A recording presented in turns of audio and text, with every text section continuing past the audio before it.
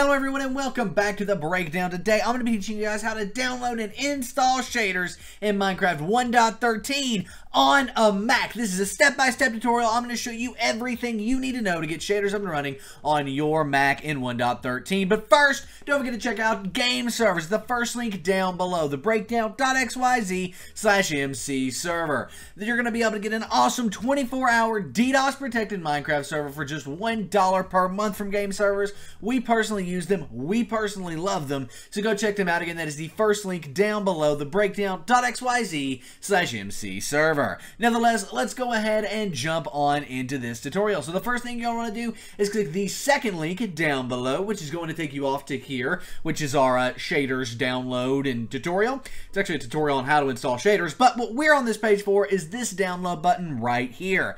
We want to go ahead and click on that green download button, and it will take us off to Sildur Shaders shaders. Now, Sildur Shaders is my favorite shaders pack here. You can use any shaders pack with this tutorial. This is just the one that I like. I personally like enhanced default shaders. You can typically see screenshots right there, but it's not working. But I'm going to come down here, Vibrant Shaders, and uh, Vibrant Shaders Medium, because uh, this is kind of an older PC here, is uh, what I'm going to be going with. And if we click on it, it's going to take us off to AdFly. Now, I do want to say this. Do not click anything on this page whatsoever. Whatever it says, don't click it. You're just going to wait five seconds, and in the top right, you're going to see a skip ad button. Click that, and it's actually downloaded some stuff down here at the bottom that we don't want. You see that? It says discard down there, and it's downloaded another DMG file. We don't want any of this crap. So just go ahead, click discard on that one, and then delete the DMG file off your computer here. It's not hurt your computer in any way. It's just a trash download. So there you go. Now we're on Mediafire, and this is what we actually want, is to be on Mediafire.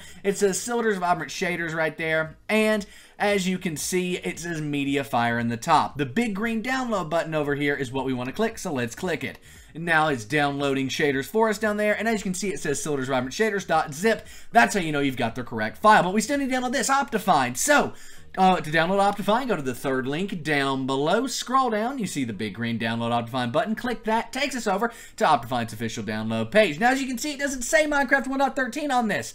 However, if it does say Minecraft 1.13 right up here at the top, right there, then this is what you want to do. Just come down and click on the mirror under this first, basically, download link, and click mirror right here. Now, Otherwise, you want to click preview versions. Right now, when I'm uploading this tutorial, Optifine is in a preview version. You just want to click mirror next to this preview version, right like that. It's going to take us off to our Optifine download page here, where you just want to find this where it says download Optifine 1.13 ends in .jar. It might be in between all the ads, but click on that and it will download Optifine. This is a file that we definitely want to keep. Now, we can go ahead and minimize our browser, and if we open up our downloads folder here, we have Optifine, and it's a jar file. So go ahead, click on that jar file, and it'll say it can't open Optifine because security and things. It's an unidentified developer. Well, go ahead click on OK, and then we want to hit Command and Space at the same time, type in System Preferences, hit Enter, and we want to look for Security and Privacy, which is right here. Click on that, and then down here at the bottom it says was blocked. Optifine was blocked from opening because it's not from an un, if it's not from an identified developer, it's from an unidentified developer. Just go ahead and click open anyway, guys. Then you might have to enter your password and click open again, and now it's going to open the open the Optifine installer. If uh, this doesn't open, if you have any issues, then go to the fourth link down below. This right here, how to download and install Java. You need Java on your system, so just click the yellow download link, and you'll be good to go go. Nevertheless, once you've got Java installed, once you've got the Optifine installer open, installing Optifine is very simple. Just click on the install button.